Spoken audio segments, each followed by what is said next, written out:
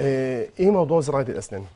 الناس اللي فقدت أسنانها وعندها خلة في سن أو اتنين أو ثلاثة أو عندها فقد في عدد أسنانها سواء كان أسنان أمامية أو أسنان خلفية.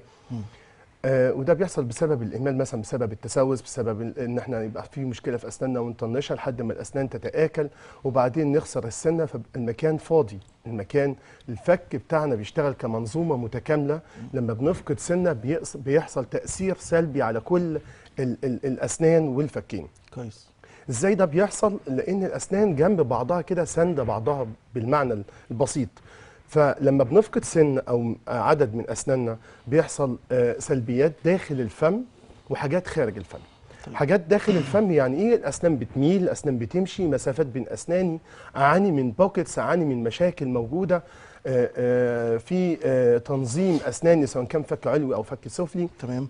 التطابق بتاعي مش سليم الأكل مش سليم هيأثر على ال ال الأكل النطق ال الهضم بجانب طبعا الجانب النفسي يعني الجانب النفسي